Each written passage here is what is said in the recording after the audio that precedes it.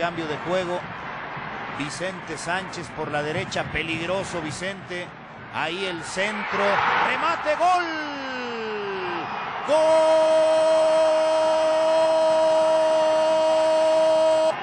Queda como estatua el guardameta Osvaldo Sánchez. Para marcar el 1 por 0, pero qué gran pase de Vicente. Ahí ganando la espalda la defensa de Chivas en el 1 por 0. Paco Barón. El cambio de juego para este hombre Vicente Sánchez es extraordinario. Después el Maza lo deja seguir, justamente no presiona y el Pato Araujo, aquí vemos, se fue, ni estaba, no estaba ni Johnny Magallón ni Diego Martínez. A primer poste, el servicio va sobre él. ¡Gol! ¡Gol! ¡De Chivas! Rodríguez se levanta primer poste, gira la cabeza y hace el gol que pone el empate al cuadro rojiblanco. Pero el servicio ahora fue exacto, justo de Ramón Morales. Antes era la defensiva, ahora es Almaza. Pues ahí está el gol.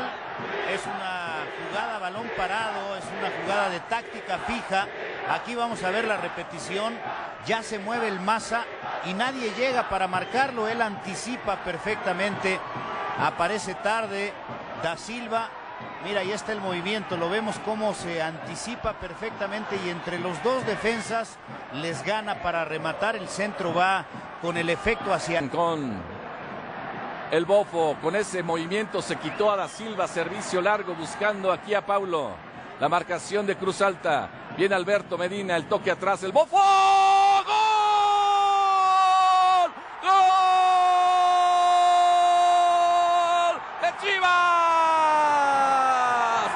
El toque abajo, raso, el disparo del bofo, pierna izquierda. ¡Gol de Chivas! Pero la jugada la inicia el bofo, la toca sobre Alberto, recorta y atrás en esa diagonal que siempre mata el disparo de pierna izquierda para este hombre que hace el gol. Y Armando Archundia Telles le dice, vámonos.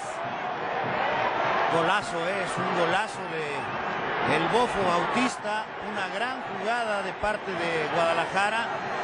Bien dice Paco, la inicia el Bofo con este trazo y la virtud del Bofo es que acompaña, acompaña Alberto Medina y Alberto lo ve y se la tira ya al Bofo que no tiene marca, el más cercano era Miguel Almazán y ahora sí la resuelve de primera intención, no de taconcito como la hizo en el primer partido o en este segundo encuentro queriendo hacer